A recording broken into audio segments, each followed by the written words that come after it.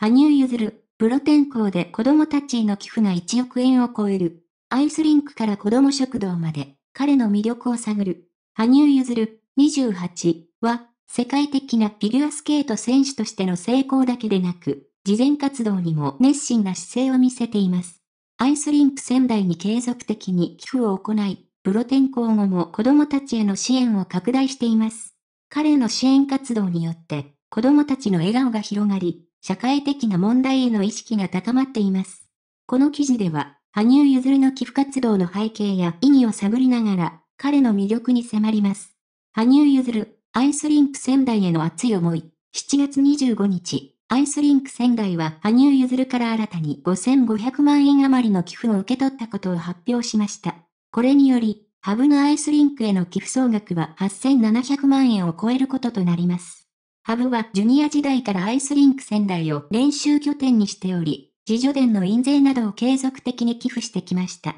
しかし、プロ転校後の今回の寄付金額は異例であり、彼の支援への思い入れが強いことを示しています。アイスリンク仙台は、羽生結弦の成長を支えた場所であり、彼にとって特別な存在です。そのため、彼がプロ転校後もこのリンクを練習拠点に選んでいることから、支援への意欲が高まったのかもしれません。ハブは地元仙台や被災地への寄付も選手時代から言っており、社会貢献への思いは長い間持ち続けています。子供食堂への贈り物、アイスリンク仙台への寄付だけでなく、羽生結弦は別の場所にも支援を行っています。17日、米子市議会議員の伊藤博恵さんによれば、東日本大震災、雇用、教育、健康支援機構を通じて、鳥取県内の子ども食堂に100個ずつカプセルトイを寄付していたそうです。この贈り物に子供たちは大感激し、カプセルトイをきっかけに知らない子同士が仲を深める場面も見られました。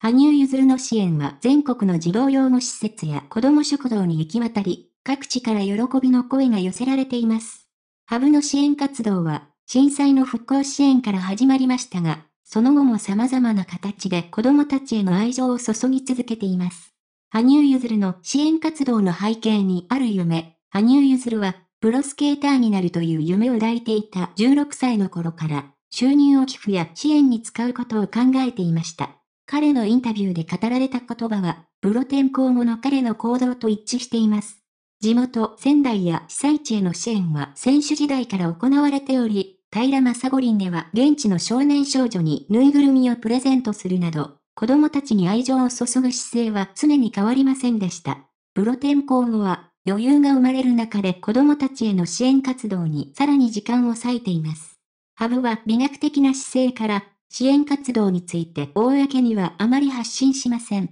彼が直接的に金銭を提供しているかどうかについては明確な情報はありませんが、ファンからの支援を通じて慈善活動を行っているという噂もあります。羽生結弦の魅力はスケートだけでなく、人間性にもある。羽生結弦の魅力は、彼の優れたスケート技術だけでなく、人間性にもあります。プロ転向後も努力を惜しまず、子供たちへの支援に時間とお金を捧げる姿勢は、彼の内面に根ざしたものです。彼の行動は、多くの人々の心を打ち、子供たちの未来への希望を広げています。羽生結弦の支援活動は、彼のスケート人生の中で重要な一部となっています。彼の夢は16歳の頃から、プロになって寄付することでしたが、それが着実に実現されていることがわかります。彼の慈善活動によって多くの子供たちの生活が豊かになり、彼の支援に触れた人々が社会的な問題に目を向けるきっかけとなっています。